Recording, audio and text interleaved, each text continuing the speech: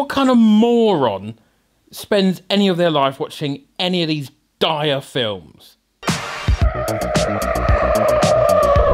They have made 10 Fast and Furious films since 2001. But what's odd about that is you don't meet anyone who has seen the latest Fast and Furious. Yet with each passing release, they keep making more and more and more money. Vin Diesel is printing dollars, or should I say his real name, Mark Sinclair. Pussy. This is my film degree, so you can trust whatever opinion that I form is the correct one. I am positively riddled with debt. Please consider subscribing to alleviate it somewhat. My hypothesis for such remarkable cinematic box office success is as follows. The films are actually good. The films are actually bad. The films are a money laundering scheme by Vin Diesel and it's just a click farm in India. I want to know how it went from an innocent car racer movie to saving planet Earth. This is not a natural transition. It's time to strap myself in, plug in the NOS, and get watch car watching, carring, one of them. Driving. There we go. That's what you do in a car, isn't it, Ciarán? Drifting. Only in the third one though.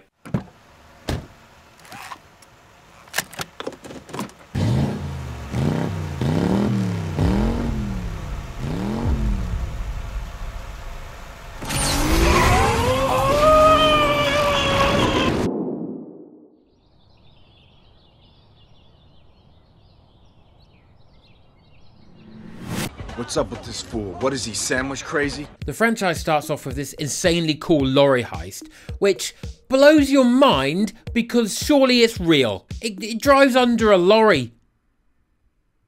Jesus Christ! But there's also a video of a man in real life actually doing it, so that's pretty fucking cool. Well done. There's the most early naughties house party ever, with just someone just casually shredding the guitar. Someone playing the PlayStation because games are new and women kissing. That's so naughty. The film is cars, women, cars, women, explosions, cars, women, Ja Rule, Jarul in a car talking to women. The final funny bit of this film is the most Looney Tunes arrest ever.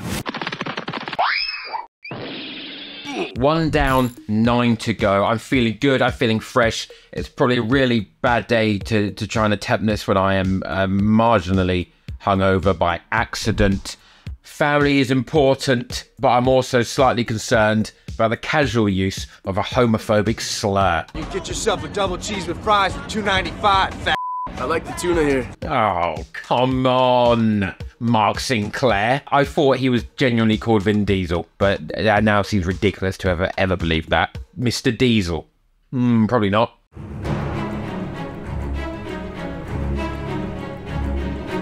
Hey, uh, make sure you bring that body by the garage later, alright? So you know we can we can work on that front end of yours. Sup, Gyaldem. Fancy showing me your mud flaps? That's horrible. Really genuinely horrible to say out loud. We make it 15 minutes into the second film, and what in the Men in Black is this monstrosity? It looks like, like a ray gun. It's like some weird EMP gun which stores the electrics in cars. I remember when Fast and Furious wasn't so ridiculous. When? I have a feeling we've all remembered these wrong because already in the saga, it's feeling a little bit too far-fetched. Boobs, boobs, more boobs, fucking gnarly jet ski stunt. Ass! Drop it, I don't want to talk about it.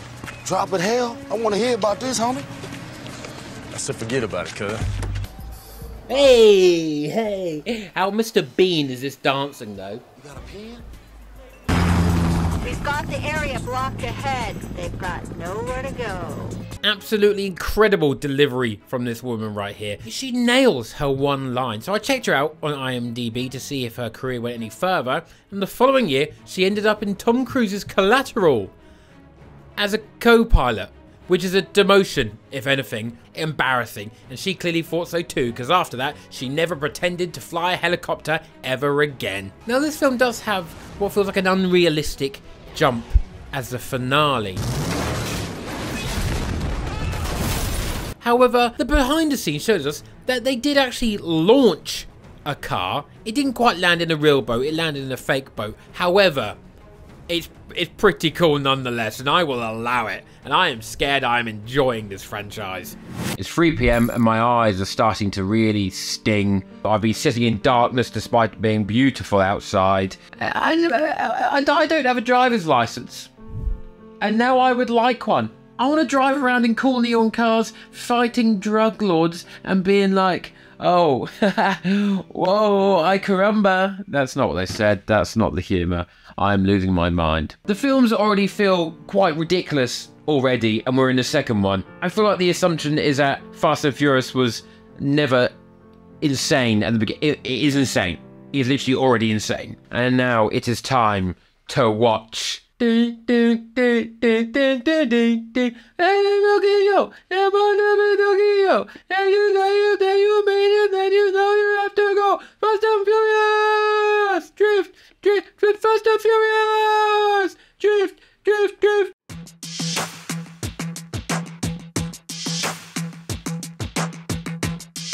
At the beginning of Tokyo Drift, we witness the perfectly normal American thing of having to attend high school via a metal detector. And then immediately after, one of the most unrealistic things Fast and Furious has ever put in front of our eyes. This guy's meant to be 18, he's in high school, this guy is not 18. He's got a 5 o'clock shadow and a hairline receding quicker than the coast of Great Britain. Now our poor main character Sean is exiled to Japan by his mother because he keeps bloody driving about everywhere and causing a ruckus. Oh, you're being a dickhead?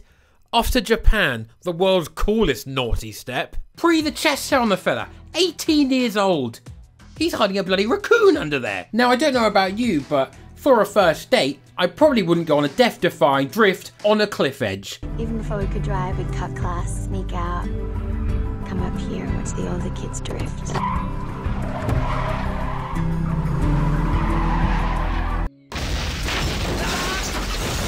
The film ends in a big street race with the nephew of a Yakuza boss, obviously. But there's no like gadgets, there's nothing absurd in this film. The biggest gadget is an iPod. And that's what people thought Fast and Furious should be. And they, that's what they thought it was at the beginning. That's what I wanted it to be. And I'm worried I don't like it. I'm worried I was wrong. Good God, I'm not gonna lie, this is probably the stupidest thing I've ever decided to do. I thought it'd be nice and fun and easy, but I've just seen a cameo from Vin Diesel there at the end. I just didn't care about that film at all. I feel like people like it because of the song. I thought I liked it because of the song. Fast and Furious! Drift, drift, Fast and Furious! Drift, drift, drift! But on, on, on the second watch, no, I just felt a bit, uh, but because I miss Vin Diesel so much, throughout that film I drew, I drew Vin Diesel himself. That's from the first film where he's he's running along the garden evading bullets on all fours uh, like the dog he is. It is currently 5 o'clock. I started this at 10 to 10 this morning. I've got 7 more to go. God, please smite me down where I stand.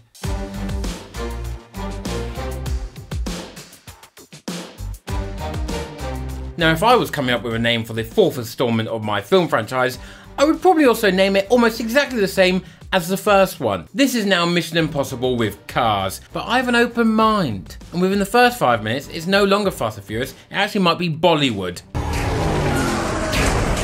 Just a quick, a quick break. 30 minutes into Fast and Furious 2009. 2009. That's not, that's not what it's called, but that's that's what it, the file's called that I may or may not have downloaded. I'm losing my mind. But I was on the down after Tokyo Drift, but now I'm boo straight back up, boy. The CGI is absolutely abhorrent, and they've they've they've just brought it back in. It's all all systems go. I'm back on it. I'm not fledgling anymore. I'm losing my mind, but I'm not I'm not in the danger zone in a bad way. I'm in the danger zone in a good way. Let's go, Dominic Toretto, Mr. Mark Sinclair himself. Vin Diesel is shot in the shoulder, which does absolutely nothing to him, of course, because 'tis nothing but a scratch to a man of that stature. There's also no exit wound, which is, you know, a big problemo. This film is actually alright so far. They're driving through the desert. There's a crash, a oosh, a whoopah, a smash. It's good. This film hasn't been too silly so far. Ah, shit. Vin Diesel's just jumped horizontal. Directly horizontal. But if you look, if you look, look close enough, he actually just steps from one car directly to the other at about 160 miles an hour. And are legs that long? That feels out of proportion. I don't know. Uh, It might just be, you know, an optical illusion. He might have really long legs. He might be taller than Dwayne Johnson. He's not. But we'll get onto that.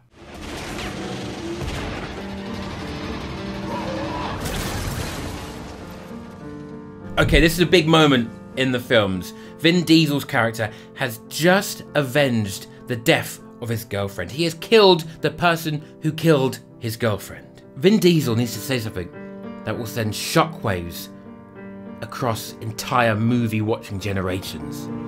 I am your father. Say hello to my little friend.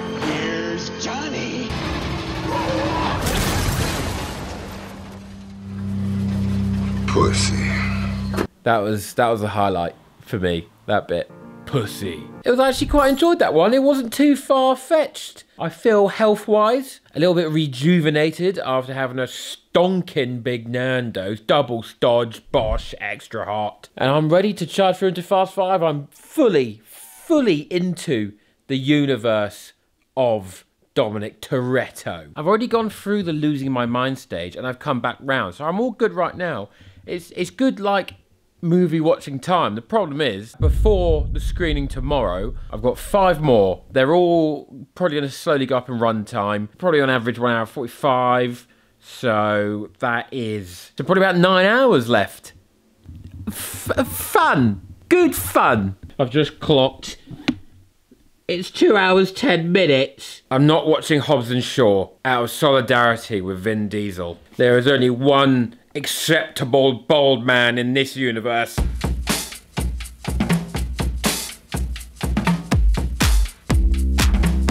This film literally continues from the exact same scene as the previous film, and there is an insanely cool bus roll, which is definitely real and fucking sick. But then they cut a hole in in the side of a moving train. Is, is that possible? A train's American train's notoriously made out of wafer thin metal? I don't know. I don't know if the science checks out on this one, boss. Are these meant to be characters we like? They're just stealing from people. They're just stealing. They're not Robin Hood. We shouldn't like these characters. These are bad people. However, they may be bad, but this is a real shot. They just launched a vehicle into the side of a train. That is some GTA shit. I don't understand. You do some really cool, realistic stuff, and then all of a sudden, you, you couple it with the most unrealistic thing I've ever seen in any of these films, and that's The Rock doing cardio. Fuck off, mate. He's huge. I bet he can run five meters and then he explodes. First, we're gonna need a chameleon, someone who can blend in. This is the exact point in the franchise where it goes from cool car crime sort of movie to heist movie. We're gonna need someone who's good with circuits. We're gonna need guys to punch through those walls. Someone who ain't afraid to throw down. We need a smart guy. We need a hacker guy. We need a, a blonde bombshell. We need the muscle. Goodbye, James Bond with cooler cars. It's now Ocean's Eleven, The Italian Job, Mission Impossible, and Chicken Run.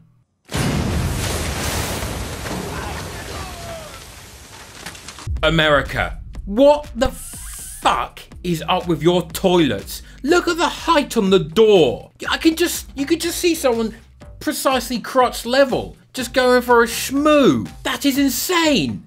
That is, that is, uh, what, if you're American, please let me know what's going on. Why the,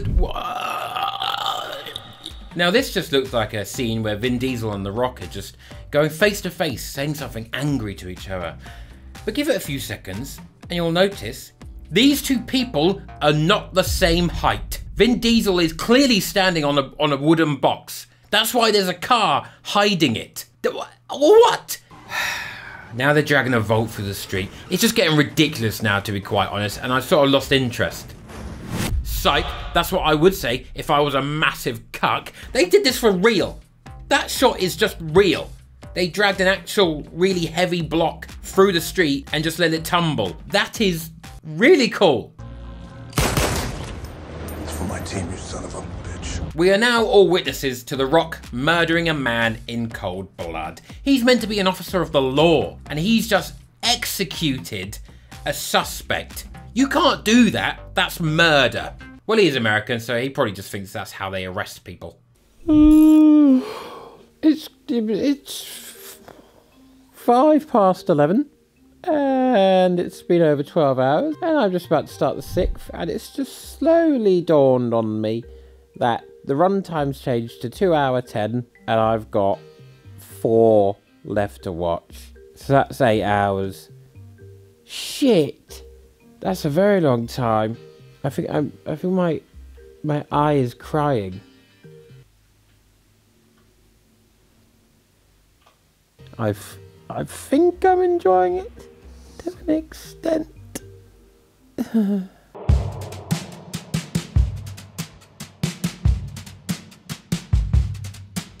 We're family. We got a problem, we deal with it together. What happens if I put an object up my bum and it got stuck?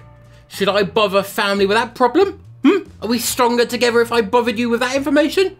I don't think we would be. I think that's a problem you should keep between you and the emergency services. So now we got cars flying in the air on some 007 type shit? This is not what we do. Tyrese is self-aware. He is self-aware of what's going on, and I, I see. Eventually, it breaks you down, and you start to respect the film. It's annoying when you sense yourself being wrong.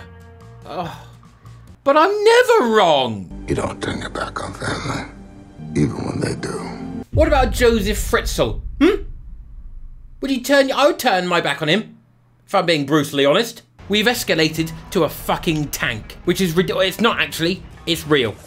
They did this one for real again. They souped it up from 30 miles per hour to 60 miles per hour, and they drove it through another vehicle and then down a disused highway in Spain. They're becoming the coolest people I know, and I know them because I've spent so many hours with them already.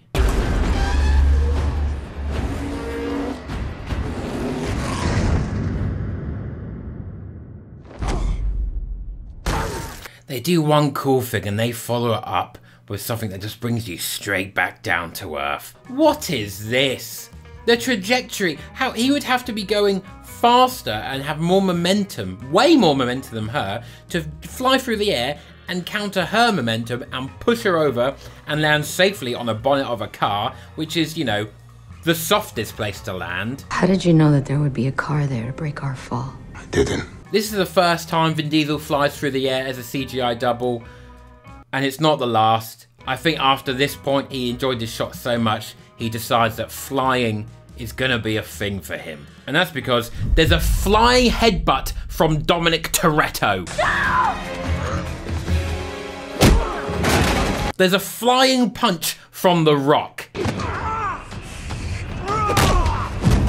Now Vin Diesel is trapped inside this big fiery plane, which is sadly, sadly the end for Vin Diesel. No one could survive that. No one could survive. It, it doesn't matter. He just breaches out the front of the plane like a man bursting out of Moby Dick. There's four more films to go.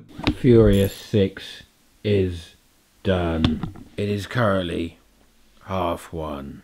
Oh my god, I want to go to bed so bad. Oh no, I need a remontada. This is horrific. I think they're getting better. I think they're becoming more engaging, but I might just be losing my mind and it might be the perfect combination. There's a showing of Fast X, the 10th one, at 10 to 11 later today. I'm going to try and just stay up all the way through and make that one and then just crash. But first, three more films and a couple coffees.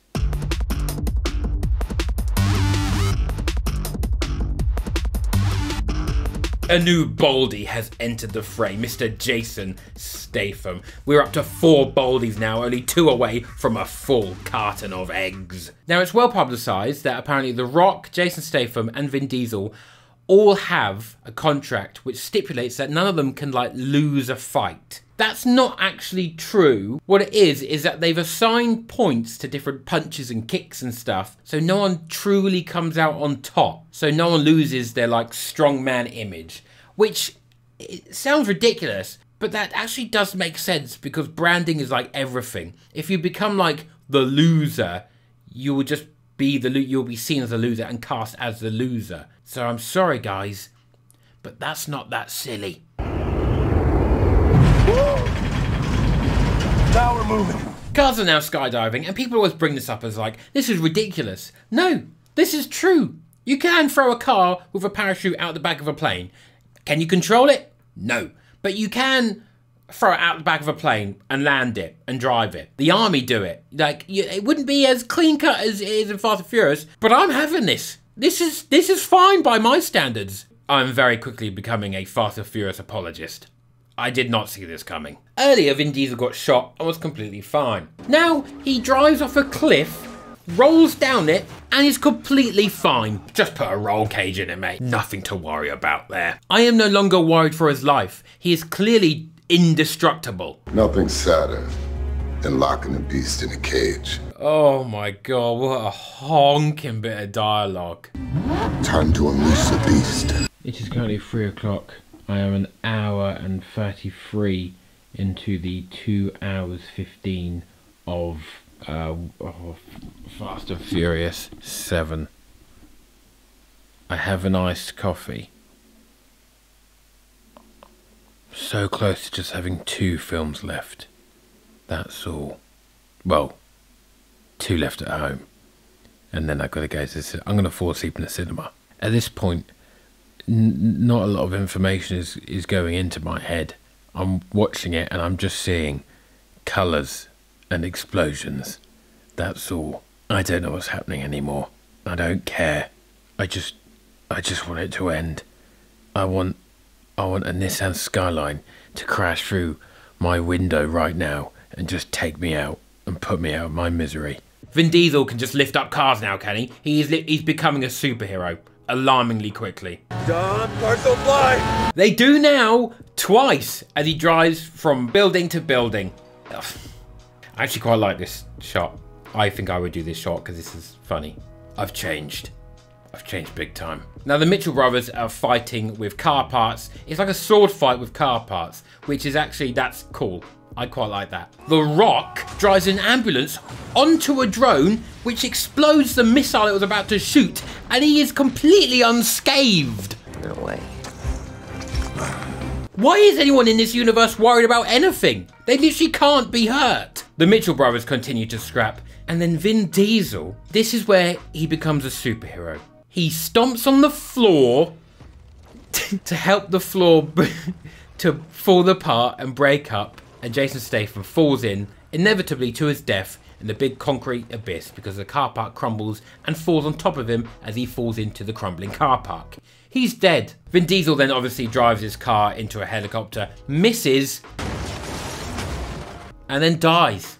He's actually dead at this point. He is finally. I thought he was a superhero. He's dead at this point. Paul Walker's trying to give him medical attention. It's not working. He can't be resuscitated. Probably because he hasn't died of like a heart attack or something trapped in his windpipe. It's almost definitely blunt force trauma to the head, mate. I don't think a couple will do it.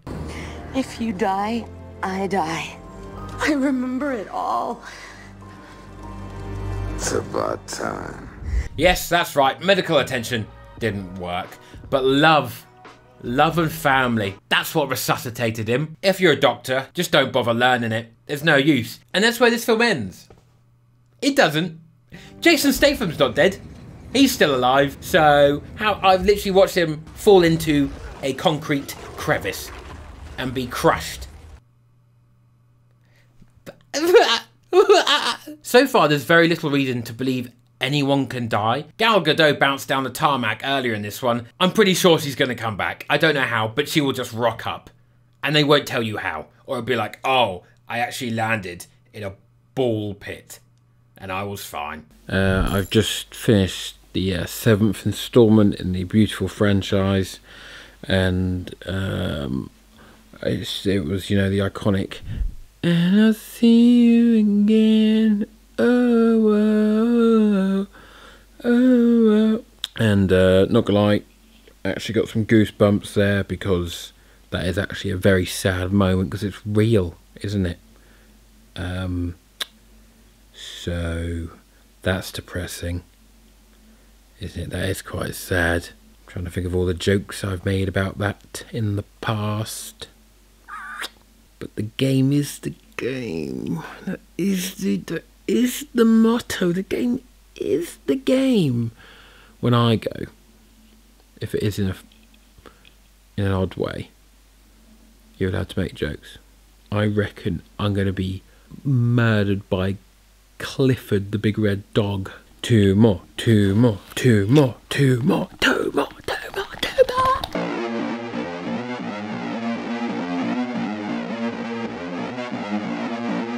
Bear with me on this one, because this is where the franchise completely loses it. This one begins with The Rock doing his Moana shit with his daughter's football team. If I was Vin Diesel at this point, I would have fell out with him as well. Waiting a long time for this. Keep waiting, bitch.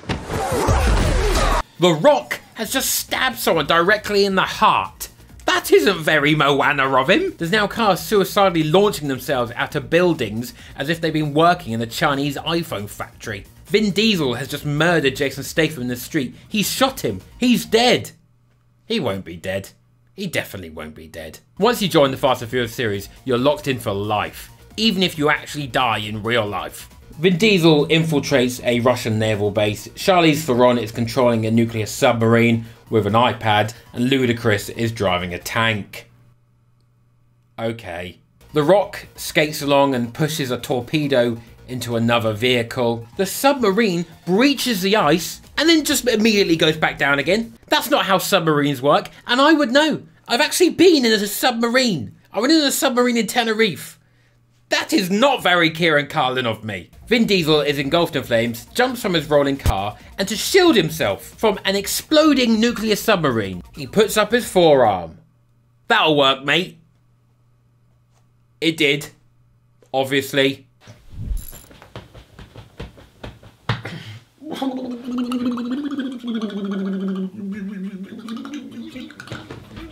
Well, well, well, well, well. The the sleep deprivation is it's, it's not having any effect on me whatsoever. I'm actually now in the past five minutes for the brief spell. I've had a little break for 15 minutes. I'm suddenly excited to find out what happens in F9. I'm excited. I want to find out how the saga of Dominic Toretto continues. Oh my god.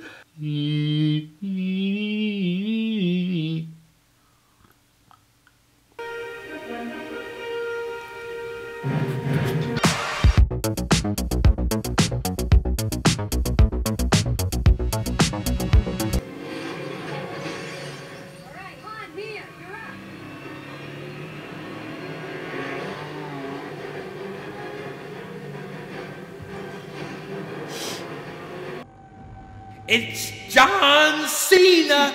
At least he's not bald. That's a nice change to casting. How would the car have any traction? You can't. You need something to push against. John Cena's car gets picked up by a plane mid-air via a magnet into the belly of the plane. Vin Diesel strategically does a rope swing with a vehicle and is obviously absolutely fine at the end of it. One more, one more film, one more, one more after this, but I want to kill myself. But even if I did, I'm, invin- I'm invincible. And it wouldn't work, I'd come back two films later. I've got 40 minutes left of F9 or F9 the Fast Saga or Fast 9. Uh, and uh, quite frankly, I am falling asleep sitting upright. Dominic Toretto's just fallen a great distance into some water, and is he? He's not dead. He looks like he's dead, but he's not dead, is he? I just know he's not dead. He's quite simply not dead. Please just die, mate. Just die. End it. Don't make me go to the cinema and watch Fast Ten. I'm just falling asleep.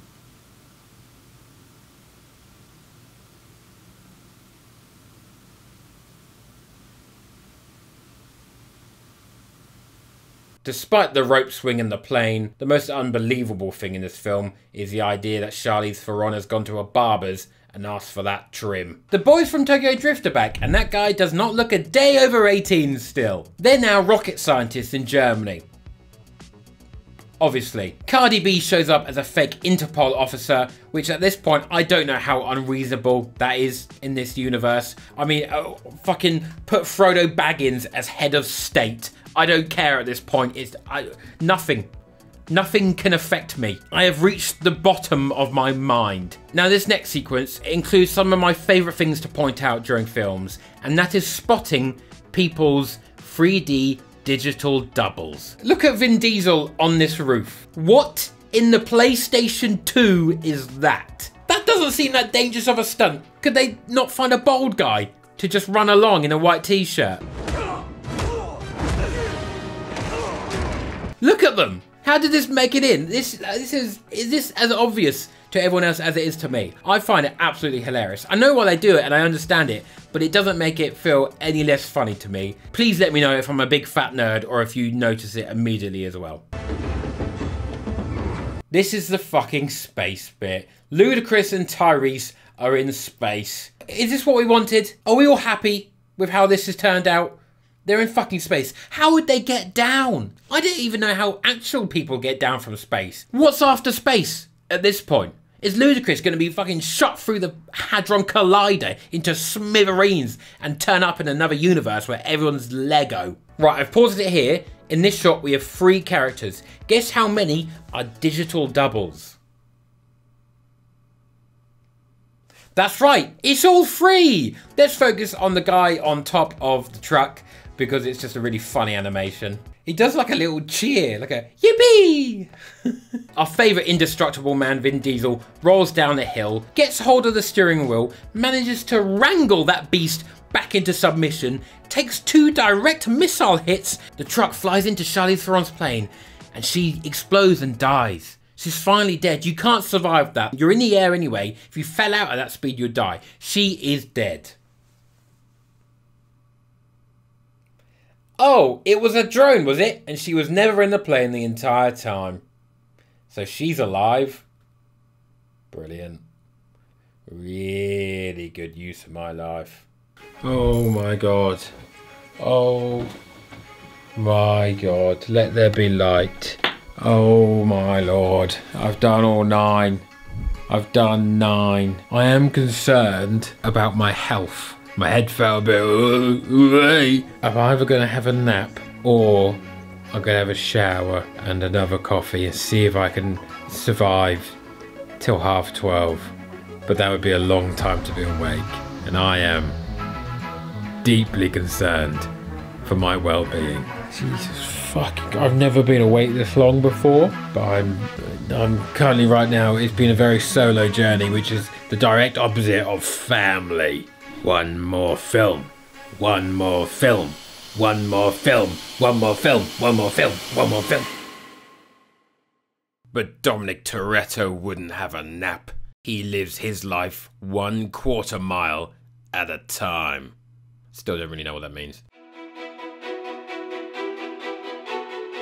I got out the house, I got a move on, I bought the human equivalent of Nos, I bumped into a cat with a Hitler moustache, I petted the feline Führer, I purchased my ticket. 16 quid, Jeezy peeps. The theatre was absolutely packed to see the best franchise ever made, and I was just 2 hours and 10 minutes away from completing my journey. 10 Fast and Furious films, 30 hours awake, 23.5 hours of Fast and Furious watched, and I can finally answer this question. The true reason for Fast and Furious's success. The films are bad, funny, but I used to hate them. I used to just think they're ridiculous. I used to disregard them and I would not give them my money. But I am a convert. I have changed. I'm a changed man. I can see value in all the silly little CGI things. I love CGI, and I even love it now if it's rubbish. They constantly shoot themselves in the foot by following up really cool hard stunt work with the uncool unbending of reality. But Vin Diesel, if you're watching right now, if I could change one thing about your series, just one thing, please, please let someone die. Gal Gadot bounced down the tarmac earlier in this one. I'm pretty sure she's going to come back. I don't know how, but she will just rock up.